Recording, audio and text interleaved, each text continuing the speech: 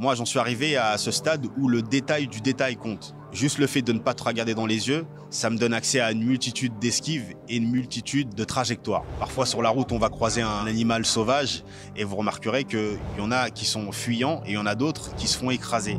Généralement, ceux qui se font écraser, c'est ceux qui sont les yeux rivés sur vos phares parce qu'on n'arrive pas à s'en détacher.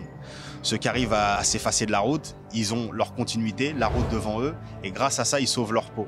C'est un petit peu la même chose sur le combat. À être trop rivé sur son adversaire, on est régi de corps et d'esprit par ses actions.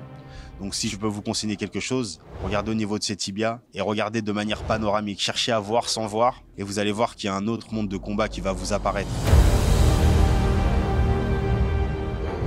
Salut Grégory, comment tu vas?